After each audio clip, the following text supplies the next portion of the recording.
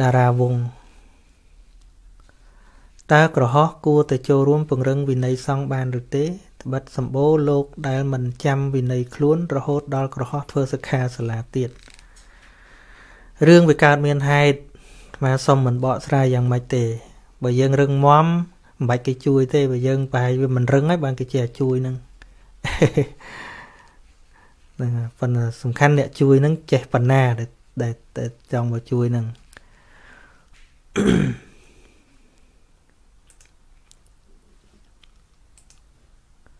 ងប៉ុន្តែរឿងទាំងឡាយវាកើតមានហេតុមេមន់ក៏ចេះក្រុងកូនព្រោះមេមន់មិនចេះក្រុងកូនអានឹងក្អែបខំអានឹងនឹងធ្វើម៉េច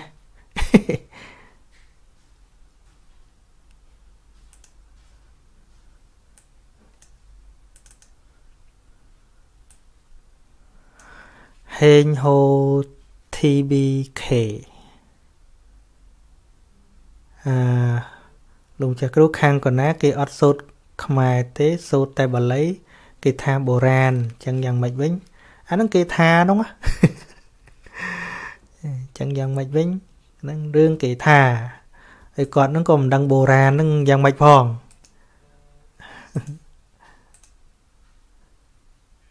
បុរាណអ្វីតែមានយូរហើយហៅបុរាណ តែមុនយើងហៅបុរាណ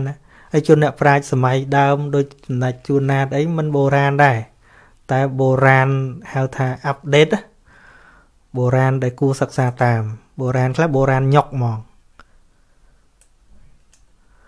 យើងវាជាប់អារឿងបុរាណបុរាណបុរាណអញ្ចឹងបានវាទៅណាមិនរួចគេគេទៅដល់ឋានប្រច័ននោះហើយឯងនៅបុរាណបុរាណហ្នឹងទៅដូចបុរាណ និយមថាកុំឲ្យស្រីកូនស្រីរៀនអីវ៉ាន់អាហ្នឹងបុរាណយើងហើយកាលណារៀនចេះអសរទៅចេះផ្ញើសបុតទៅសង្សារអីចឹងអូយមេឆ្កែវាចេះផ្ញើសបុតស្អីវាមនុស្សទៅដោយឈ្មោលកើតឆ្ងល់អារឿងធម្មជាតិសត្វលោកឃើញល្ងងហ៎មនុស្សចង់ខូចចាំបាច់ចេះអសររឿងបុរាណដែលកំណត់ថាកុំឲ្យស្រីរៀនហ្នឹងបុរាណវាអញ្ចឹងតាមដែរអឺយ៉ាប់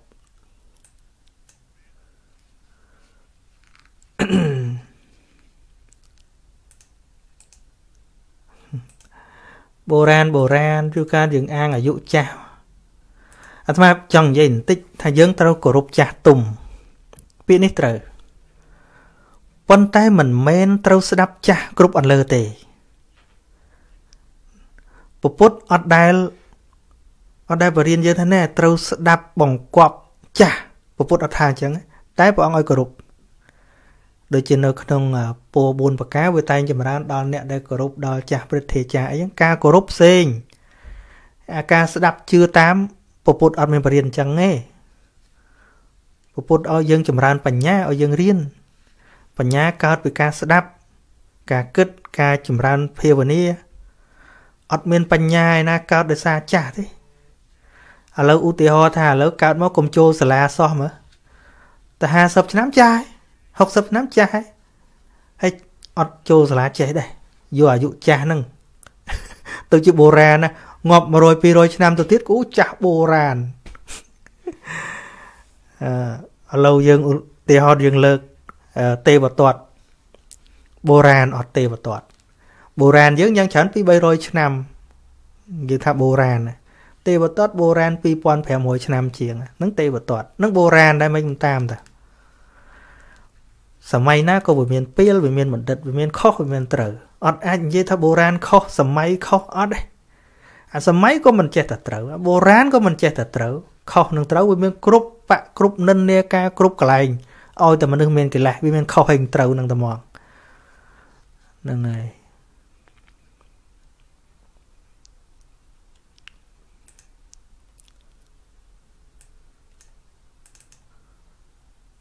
សំបីច្បាប់អាមេរិកកាំងច្បាប់អូស្ត្រាលីថាច្បាប់ល្អគេនៅតែកែរាល់ឆ្នាំមានន័យថាវាមិនគ្រប់ហាមច័ន្ទសា សំណួរចង់សួរលោកគ្រូ មានញោមអាចារ្យម្នាក់មកប្រាប់ខ្ញុំកណាថាគុណម្ចាស់សំដែង មិនគួរកាយវិការទេសំដែងតែមាត់បានហើយតើខុសឬត្រូវអឺ អាហ្នឹងត្រូវតាមចិត្តគាត់ប៉ុន្តែនៅក្តោបក្តោបក្តោបក្តោបហ្នឹងវាជាងកាលនិយាយវាមិនចេញដែរអាត្មាហ្នឹងវាលើកដៃលើកអីខ្លះចឹងដែរបើក្នុងវិន័យតែក្នុងចន្លោះផ្ទះអីអីកុំឲ្យឆ្កាដៃឆ្កាអីចឹងទៅប៉ុន្តែឆ្កានៅក្នុងសំបីពពុទ្ធហ្នឹងសំដែងធម្មចក្រមិនឃើញគំនូលើកម្រាមអញ្ចេះទេអី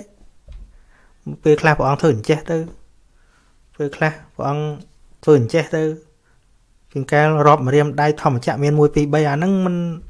កាយវិការជាងកុំងាប់កលាពេកអឺខ្លៃខ្លីខ្លីបងអឺមខ្ញុំកណាសូមសួរសួរតែម្ដងទៅថាតើ អจิតភិក្ខុទៅតែទទួលការព្យាករពីព្រះសម្មាសម្ពុទ្ធសមណគោតមឬពីពុទ្ធមុនមុនដែរបើតាមយើងសិក្សាពីប្រភេទនៃពពុរិស័ទហើយនឹងការសន្សំបារមីរបស់ពុរិស័ទនឹងចែកចេញជាដំណាក់កាលផ្សេងគ្នា នៅពេលដែលប្រាថ្នាដើម្បី បំពេញបារមីឲ្យបានជាពុទ្ធនឹងប៉ុន្តែមិនតាន់បានទទួលការព្យាករពីព្រះសម្មាសម្ពុទ្ធអង្គណាមួយនោះហៅថាអនិយតពុរិស័ទអនិយតនឹងអណោស្រអិយោតប្រែថាមិនទៀងអនិយតពុរិស័ទនឹងប្រែថាពុរិស័ទមិនទៀងអាចអាចនៅតែព្យាយាមតទៅទៀតរហូតដល់បានជាពុទ្ធឬក៏នៅពេលណាមួយលោកអស់កម្លាំងឈប់វិញ ប៉ុន្តែបើបានការព្យាករពីព្រះសម្មាសម្ពុទ្ធអង្គណាមួយថាប្រកាសជាបានត្រាស់ដឹងនៅជាតិខាងមុខឬក៏កំណត់ផែនដីណាមួយហើយ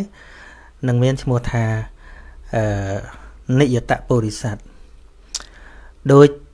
ព្រះសម្មាសម្ពុទ្ធព្រះបរមគ្រូនៃយើងអញ្ចឹងព្រះអង្គបានទទួលព្យាករ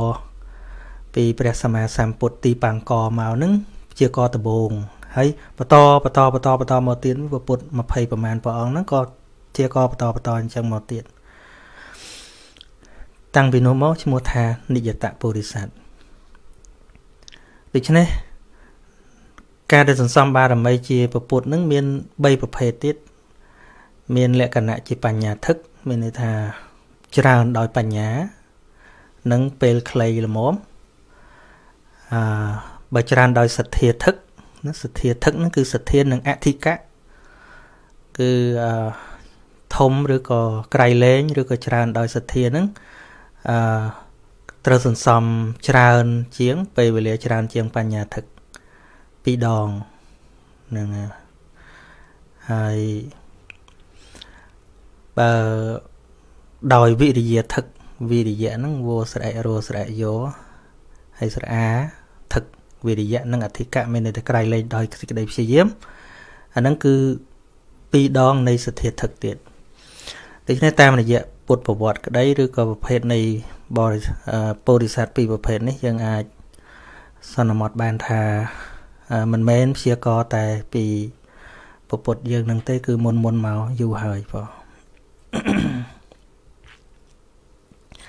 ទី2អឺសិទ្ធិ net ជាស្រ័យអាត្មាផ្ដាសាយប្រហែលថ្ងៃនិយាយអត់ចង់ចេញសំឡេងនិយាយប្រឹងសំឡេងចេញស្អត់ស្អត់ City Net Net ខ្ញុំណាបានស្ដាប់អកុសលចិត្ត12ដល់មោហមូលចិត្តដំបូង ដូចជាវិជកិច្ឆាមុន ដល់ក្រោយឧទ្ធចៈមុនខ្ញុំក៏ណាមិនច្បាស់ទៅមួយណា ជាដួងទី1អឺវិជកិច្ឆាមុនវិជកិច្ឆាសម្បយុទ្ធនឹងមុនហើយឧទ្ធចៈនឹងដួងទី2អានេះគ្រាន់តែជាលំដាប់ឯណាប៉ុន្តែក្នុងជីវិតរបស់យើង វាមិនប្រកាសឋានៈកើតមុនកើតក្រោយតាមលេខរៀងដែលរាប់នឹងទេនេះគ្រាន់តែជាលំដាប់នៃមេរៀនដែលបានចងក្រងឡើងដូចជាព្រះអរិយបុគ្គលលោកអស់វិជ្ជាកិច្ឆាអស់ដួងទី1ណាដួងទី1ឡើងមានហ្មងតាមសោតាប៉ុន្តែឧត្តចៈដួងទី2នៅមានជាធម្មតាដល់ទៅព្រះរហន្តទៅលះដាច់ ទី3អឺសំអាងឈ្មោះសំអាង នៅក្នុងព្រះរតនត្រ័យទាំង3ចំណុចថាប្រសង់ជាស្រែបនតែតាមការសង្កេតនៅការប្រព្រឹត្តរបស់ប្រសង់សពថ្ងៃចាត់ទុកជាស្រែបនដែរឬទេអឺយើងសង្កេតយ៉ាងណាក៏យ៉ាងនឹងទៅប៉ុន្តែយើងត្រូវពាក្យត្រូវយល់ពាក្យថាសង្ឃហ្នឹងមានន័យថាម៉េចសង្ឃមានន័យពីរយ៉ាងទី1 គឺសំដៅទៅដល់ពួកដល់គណៈនៃក្រុមឬក៏សហគមន៍មួយ ទី2គឺសំដៅទៅដល់បុគ្គលអ្នកស្អាតស្អំម្នាក់ក៏ហៅទៅសង្ឃដែរមកពីពាក្យដើមថាសង្ឃនិងហៈអ្នកបុគ្គលណាដែលសម្លាប់នៅសេចក្តីអាក្រក់ក្នុងខ្លួនសម្រាប់បាបអកុសលសម្រាប់កិលេសក្នុងខ្លួនហៅថាសង្ឃហើយដែលចាត់ថាប្រសង់ជាស្រែបុណ្យនេះ មានលក្ខណៈសំខាន់ ត្រង់ថាឲ្យយើង អ្នកធ្វើនឹងទី1គឺជ្រះថ្លាទៅលើគុណធម៌ណាសំដៅទៅដល់សង្ឃដែលសំដៅដល់បុគ្គលដែលបានលះកិលេសហើយយើងគ្រប់គ្រងចំពោះបុគ្គលអ្នកមានគុណធម៌យើងជ្រះថ្លាចំពោះគុណធម៌ហើយទី2ចំពោះពួកគណៈដោយឲ្យយើងផ្ដោតទៅលើសហគមន៍ឲ្យយើងផ្ដោតទៅលើប្រយោជន៍រួម កុំឲ្យយើងកពូនទៅលើបុគ្គលម្នាក់ម្នាក់ពីព្រោះនៅក្នុងសហគមន៍នីមួយៗក្នុងសង្គមនីមួយៗបើនៅក្នុងសហគមន៍មួយហ្នឹងมันមានការចែករំលែកហើយពូនទៅទៅលើម្នាក់ម្នាក់វារមែងបែកបាក់សាមគ្គីគ្នានឹងចឹងហើយដូច្នេះអឺលក្ខណៈទាំងពីរហ្នឹងយើងជ្រះថ្លាមួយណាធ្វើមួយនឹងទៅហើយបើយើងរួមមិនឃើញអាហ្នឹងក៏មិនដឹងធ្វើមិនដែរ ហើយសង់ចាត់ជាពីរទៅទៀតជាជាជាជាអរិយសង្ឃហើយនិងសមតិសង្ឃអរិយសង្ឃគឺសំដៅដល់បុគ្គលដែលលះកិលេសនឹងឯងឬក៏កំពុងតែប្រព្រឹត្តព្យាយាមដើម្បីលះកិលេសហើយមួយទៀតសមតិសង្ឃគឺសំដៅទៅដល់សង្ឃដែលភិក្ខុសង្ឃដែលបានដោយការសមតិសមតិនឹងគឺសន្មត់ដោយវិន័យកម្មមិនមែនទាំងសន្មត់សន្មត់ទេស្លៀកសិវរក៏ហៅថាសង្ឃមិនមែនចឹងទេ គឺត្រូវធ្វើដោយញត្តិកម្មត្រឹមត្រូវទៅហៅថាសមតិសង្ឃសង្ឃដោយសន្មត់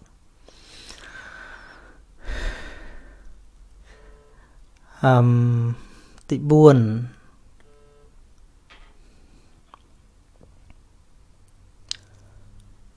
តាមហាតាមហា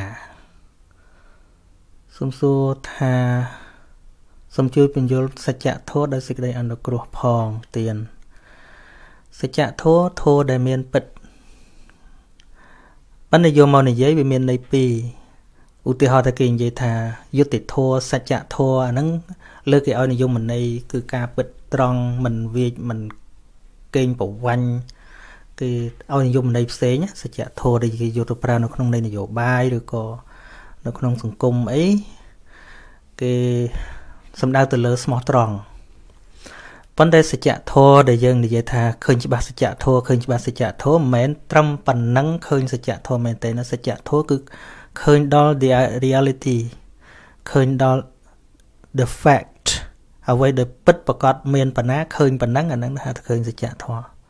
ឈប់ឃើញរបស់คล้ายคล้ายឃើញដល់របស់ពិតដូចជាសុកនឹងទុកកើតពីហ្នឹងឃើញទៅដល់ប្រភពវាមែនតែនឈប់ជឿទៅលើថ្ងៃខែអរិយអ្នកតាអីឈប់ហ่ะ និយាយរួមទៅបុគ្គលអ្នកឃើញសច្ចធម៌គឺបុគ្គលឈប់ជឿទៅលើពាក្យអ្នកដតីហ្មងគឺបានពាល់ត្រូវដោយខ្លួនឯងជនណាសម្លាប់មេដាបៃតាទទួលទោសាដែលមានឈ្មោះថាអនន្តរី